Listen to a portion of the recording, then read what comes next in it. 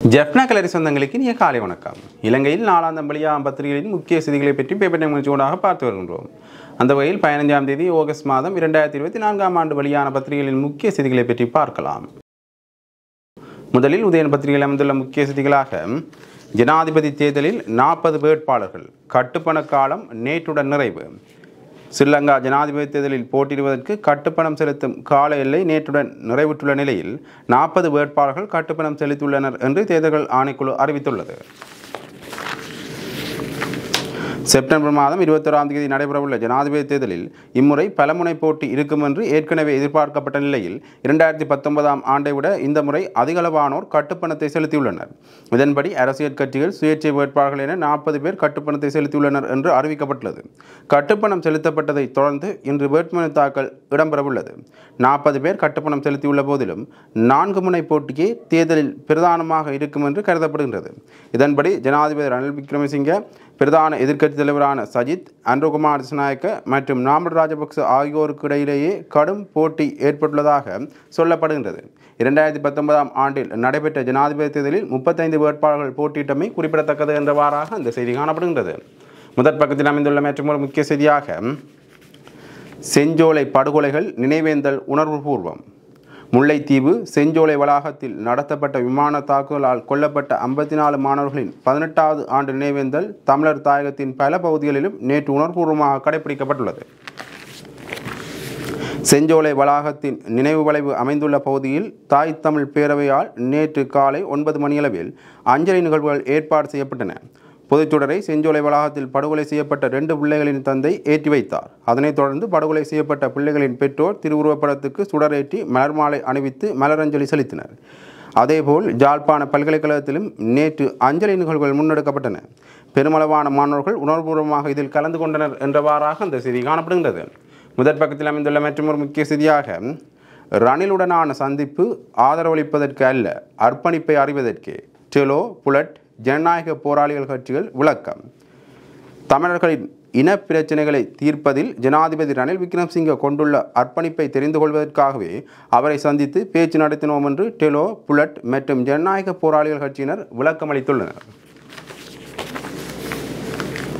மேற்படி கட்சிகள் ஜனாதிபதி ரணிலை சந்தித்தமைக்கு பல்வேறு விமர்சனங்கள் முன்வைக்கப்பட்டுள்ள பின்னணியிலேயே அந்த கட்சிகளின் பிரதிநிதிகள் இவ்வாறு கூட்டாக தெரிவித்துள்ளனர். அவர்கள் மேலும் தெரிவித்துள்ளதாவது ஜனாதிபதி தேர்தலில் வேட்பாளராக களமிறங்கும் ரணில் விக்ரம்சிங்கவுக்கு தமிழ் மக்கள் கூட்டணியின் தலைவர் நீதியரசர் விக்னேஸ்வரன் ஆதரவு தெரிவித்துள்ளார். அதன் அடிப்படையில் பொது ஒப்பந்தத்தில் கையெழுத்து இடுவதற்கு நீங்களும் இணங்க வேண்டும் என்று ஐக்கிய தேசிய கட்சியின் தவிசாளர் எம்மிடம் கோரிக்கை விடுத்தார். ஆனால் நாங்கள் அவருடைய கோரிக்கையை திட்டவட்டமாக நிராகரித்தோம். நீதியரசர் விக்னேஸ்வரனின் கட்சி ஒரு தனி கட்சி. அவர் ஜாரை ஆதரிப்பது என்பது அவருடைய தனிப்பட்ட விருப்பம்.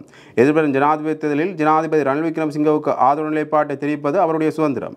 நாம் அப்படியான முடிவுகள் எதையும் இதுவரைக்கும் எடுக்கவில்லை. ஜனாதிபதி ரணில் விக்ரமசிங்கவை நாம் சந்தித்தது எமது மக்களின் நிலைப்பாட்டை தெளிவாக தெரிவிப்பதற்கும் எமது மக்களின் அரசியல் அபிலாஷைகளை தீர்ப்பதற்கு அவருடைய அர்ப்பணிப்பு எந்த அளவுக்கு இருக்கின்றது என்பதை புரிந்து கொள்வதற்குமே. மாறாக அவருக்கு ஆதரவு தெரிவிப்பதற்காக அல்ல என்றனர் என்றவாறாக அந்த செய்தி காணப்படுகின்றது. முதற் பக்கத்தில் அமைந்துள்ள மற்றொரு முக்கிய செய்தியாக ஆவி கப்பல்கள் எதையும் அனுமதிக்கப் போவதில்லை. கொழும்பு திட்டவட்டம். சீன கடற்கப்பல்களை இலங்கை கடற்பரப்பில் ஆய்வு நடவடிக்கையில் ஈடுபடுவது குறித்து இந்தியாவும் அமெரிக்காவும் இலங்கை அரசிடம் தமது கரிசனைகளை வெளிப்படுத்தியதை அடுத்து இந்த வருடம் எந்த ஒரு ஆய்வுக் கப்பலையும் அனுமதிப்பதில்லை என்று இலங்கை அரசாங்கம் தீர்மானித்துள்ளது. இதேவேளை இரண்டாயிரத்தி இருபத்தஞ்சாம் ஆண்டு ஜனவரி முதல் கப்பல்களை அனுமதிப்பது தொடர்பில் பரிசீலிக்கப்படும் என்று வெளிவார அமைச்சர் அலிசப்ரி அறிவித்துள்ளார் என்றவாறாக இந்த செய்தி காணப்படுகிறது முதற் பக்கத்தில் அமைந்துள்ள மற்றொரு முக்கிய செய்தியாக காணாமல் போனோர் விவகாரம் ஓஎம்பியால் விசாரணைகள்.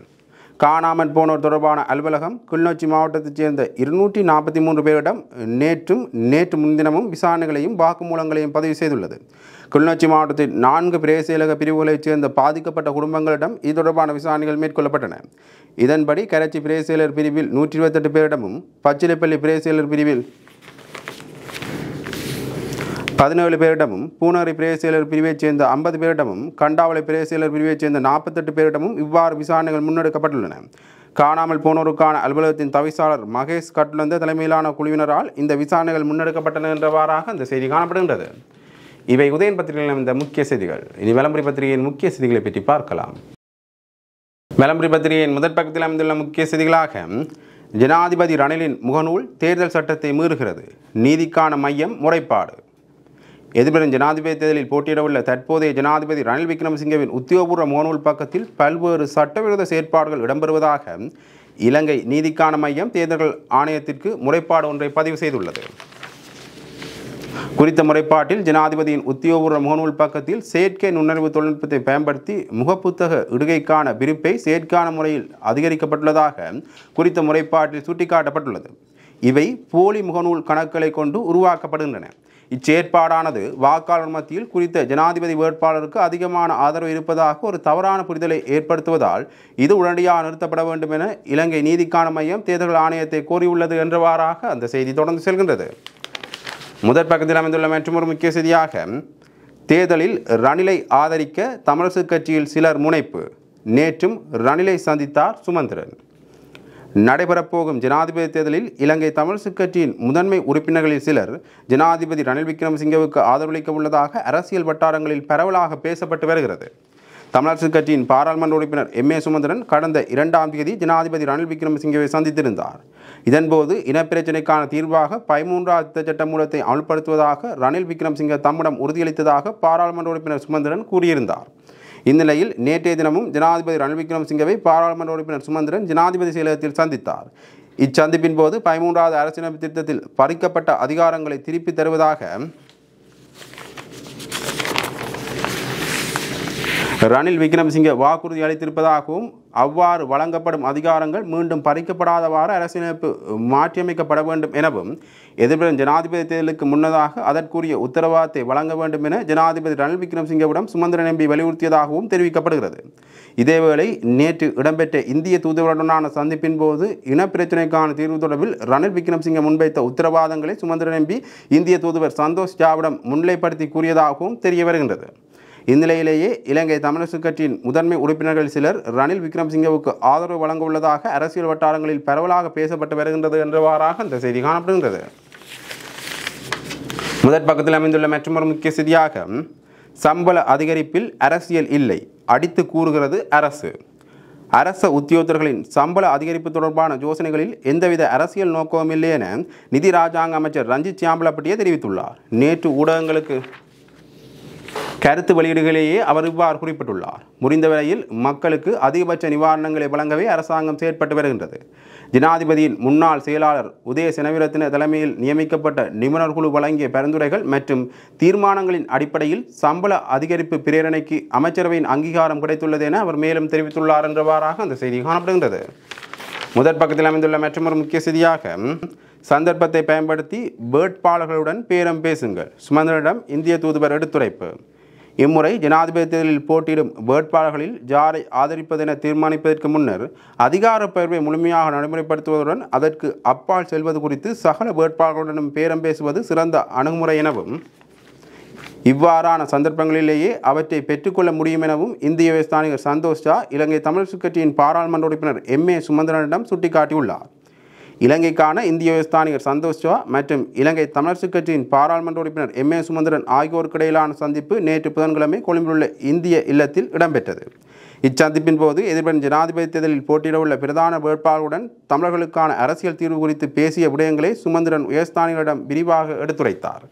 மூன்று பிரதான வேட்பாளர்களும் அரசியலமைப்புக்கான பதிமூன்றாவது திட்டத்தை முழுமையாக நடைபெறுத்து நடைமுறைப்படுத்துவதாக கூறியிருக்கும் பின்னணியில் அதில் அமுல்படுத்தப்படாமல் இருக்கும் விடயங்கள் அவற்றை அமுல்படுத்துவதற்கு தற்போதைய ஜனாதிபதியினால் முன்னெடுக்கப்படக்கூடிய நடவடிக்கைகளை உள்ளடக்கி இரண்டாயிரத்தி இருபத்தி ரெண்டாம் ஆண்டு டிசம்பர் மாதம் அவரிடம் கையளித்த ஆவணம் பதிமூன்றாவது திருத்தத்தில் நடைமுறைப்படுத்தக்கூடிய விடயங்கள் குறித்து அண்மையில் ஜனாதிபதி கையளித்த ஆவணம் என்பன பற்றி உயர்ஸ்தானிகளிடம் விளக்கி கூறிய சுமந்திரன் அவரிடம் அந்த ஆவணத்தையும் காண்பித்தார். அதனை சுயமளித்த உயர்ஸ்தானிகர் சந்தோஷ் ஜா இம்முறை ஜனாதிபதி தேர்தலில் போட்டியிடும் வேட்பாளர்களில் ஜாரை ஆதரிப்பதென தீர்மானிப்பதற்கு முன்னர் அதிகார பயிர்வை முழுமையாக நடைமுறைப்படுத்துவதுடன் அதற்கு அப்பால் செல்வது குறித்து சகல வேட்பாளருடனும் பேரம் பேசுவது சிறந்த அணுகுமுறை எனவும் இவ்வாறான சந்தர்ப்பங்களிலேயே அவற்றை பெற்றுக்கொள்ள முடியும் என்பதால் இந்த பேரம்பேசலை தொடர்ந்து முன்னெடுக்குமாறும் அதன் பின்னர் சிறந்த தீர்வு திட்ட முன்மொழிவை முன்வைப்பவரை ஆதரிப்பது குறித்து தீர்மானிக்க முடியும் எனவும் அவர் குறிப்பிட்டுள்ளார் என்றவாறாக அந்த செய்தி தொடர்ந்து செல்கின்றது. முதற் பக்கத்தில் அமைந்துள்ள மற்றொரு முக்கிய செய்தியாக தபால் மூல வாக்களிப்பு திகதிகள் அறிவிப்பு.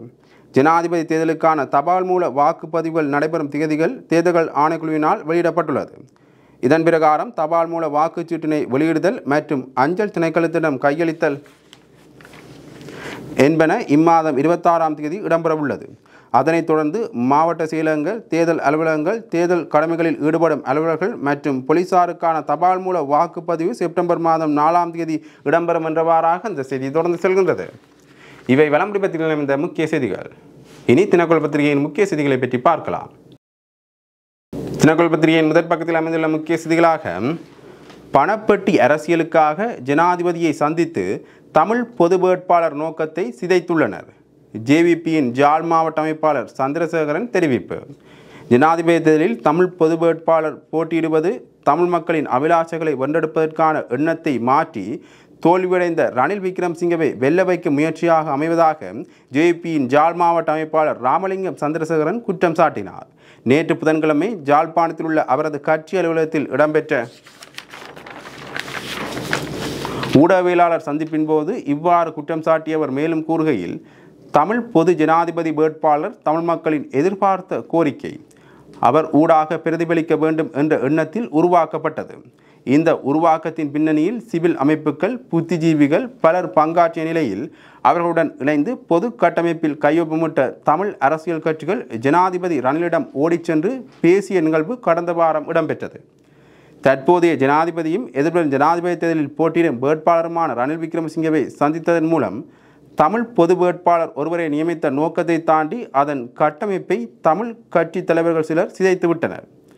ஐக்கிய தேசிய கட்சியின் வரலாற்றில் தமிழ் மக்களை அழித்த வரலாறுகளே அதிகமாக காணப்படுகின்ற நிலையில் தமிழ் கட்சிகள் நலனுடன் பேசுவது தமது மக்களை ஏமாற்றம் செயல். ஆயிரத்தி தொள்ளாயிரத்தி எண்பத்தி மூன்று கலவரம் அவசரகால சட்டம் பயங்கரவாத தடை சட்டம் மாவட்ட அபிவிருத்தி சபை தேர்தல் மற்றும் ஜாழ் பொது நூலக எரிப்பு போன்றவற்றில் தமிழ் மக்கள் படுகொலை செய்யப்பட்ட போது ரசித்து கொண்டிருந்தவர் வேறு யாரும் இல்லை. ஐக்கிய தேசிய கட்சி ரணில் விக்ரம்சிங்க தான் இவற்றையெல்லாம் மறந்த தமிழ் கட்சிகளின் தலைவர்கள் ரணில் விக்ரம்சிங்கவின் காலை நாக்கி அரசியல் பிழைப்பை தக்க வைத்துக் கொள்வதற்கும் பணப்பட்டி அரசியலை மேற்கொள்வதற்காகவும் பேச்சுக்கு சென்றார்கள் என சந்தேகம் எழுகின்றது என்று அவர் குறிப்பிட்டுள்ளார் என்றவாறாக அந்த செய்தி தொடர்ந்து செல்கின்றது. முதற் பக்கத்தில் அமைந்துள்ள மற்றொரு முக்கிய செய்தியாக தேர்தலுக்கு பின்னர் வன்முறை வெடிக்குமா? இடமளிக்க முடியாது என்கிறார் ஜனாதிபதி. தேர்தலுக்கு பின்னர் வன்முறை செயல்கள் நடப்பதற்கு இடமளிக்க முடியாது. நாம் அவற்றை நிறுத்த வேண்டும். இந்த தேர்தலுக்கு பிறகு எந்த வகையிலும் வன்முறைகள் நடைபெறக்கூடாது. அது குறித்து நாம் விசேட கவனம் செலுத்த வேண்டும் என ஜனாதிபதி ரணில் விக்ரமசிங்கே தெரிவித்துள்ளார். போலீஸ் விசேட அதிரடிப்படையின் ஸ்ரீ ஜெயவர்த்தனபுர விசேட அதிரடிப்படை நடவடிக்கை மையத்தை திறந்து வைக்கும் நிகழ்வில் கலந்து கொண்டு உரையாற்றும் போதே அவர் இவ்வாறு தெரிவித்துள்ளார். அவர் தொடர்ந்தும் பேசுகையில் போதைப்பொருள் ஒழிப்புக்காக தற்போதுள்ள அனைத்து போலீஸ் இராணுவ மற்றும் சிவில் நிறுவனங்களை ஒன்றிணைத்து போதைப்பொருள் தடுப்புச் சட்டத்தின் கீழ் தனியொரு நிறுவனமாக உருவாக்கி அதற்குரிய அதிகாரங்கள் வழங்கப்படும். பாதாள உலகக் குழுக்களுக்கோ அல்லது போதைப்பொருள் கடத்தல்காரர்களுக்கோ நாட்டை அழிக்க இடமளிக்க முடியாது. இலங்கையில் பாதாள உலக செயற்பாடுகளுக்கு எதிராக புதிய தொழில்நுட்பத்தை பயன்படுத்தி புதிய சட்டங்கள் கொண்டு வரப்படும் என்று அவர் குறிப்பிட்டுள்ளார் என்றவாறாக அந்த செய்தி தொடர்ந்து செல்கின்றது. முதற் பக்கத்தில் அமைந்துள்ள மற்றொரு முக்கிய செய்தியாக ரணில் போட்டியிடுவதை நீதிமன்றம் தடுக்குமா? நீதியமைச்சராக அலி சப்டியை நியமித்ததன் மூலம் அரசியலமைப்பை மீறியதாக மனு தாக்கல். நீதியமைச்சராக அரிசப்டியை நியமித்ததன் மூலம் ஜனாதிபதி ரணில் விக்ரம்சிங்கே அரசியலமைப்பை மீறி அதிகாரத்தை துஷ்பிரயோகம் செய்துள்ளமையால் ஜனாதிபதி வேட்பாளராக ரணில் விக்ரம்சிங்கை போட்டியிடுவதற்கு தடை விதிக்குமாறு உயர்நீதிமன்றத்தில் அடிப்படை உரிமை மீறல் மனு தாக்கல் செய்யப்பட்டுள்ளது. சட்டத்தனி சான் ரணசூரியவால் தாக்கல் செய்யப்பட்டுள்ள இந்த மனுவில் ஜனாதிபதி ரணில் விக்ரம்சிங்கே சட்டமாதிபர் மற்றும் பாராளுமன்றம் என்பன பிரதிவாதிகளாக குறிப்பிடப்பட்டுள்ளது. அரசியலமைப்பின் முப்பதில் ஒன்று பிரிவின் கீழ் ஜனாதிபதி ரணில் விக்ரம்சிங்கே ஜனாதிபதியாக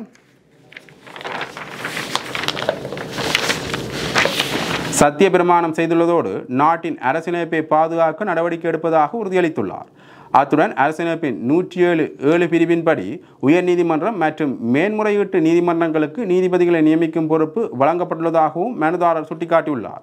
அரசியலமைப்பின் பிரகாரம் உயர்நீதிமன்ற நீதிபதிகளை நியமிக்காததன் மூலம் அரசியலமைப்பு விதிகளை ஜனாதிபதி மீறியுள்ளார் என தெரிவித்துள்ள மனுதாரர் பதில் போலீஸ் மாதிபர் ஒருவரை நியமிக்காமல் பொதுமக்களின் பாதுகாப்பிற்கு ஆபத்தை ஏற்படுத்தியுள்ளதாகவும் சுட்டிக்காட்டியுள்ளார் என்றவாறாக அந்த செய்தி தொடர்ந்து செல்கின்றது.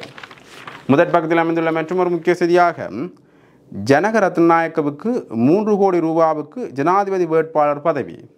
லஞ்சமாக பெற முற்பட்டதாக சிலர் கைது. ஐக்கிய லங்கா பொதுஜன பிரமண கட்சியின் ஜனாதிபதி வேட்பாளர் பதவியை ஜனகரத்நாயக்கு வழங்குவதற்கு மூன்று கோடி ரூபாவை லஞ்சமாக பெற முற்பட்டதாக அந்த கட்சியின் செயலாளர் உள்ளிட்ட செயற்குழு உறுப்பினர்கள் குழுவொன்றை லஞ்ச ஊழல் விசாரணை ஆணைக்குழு கைது செய்துள்ளது.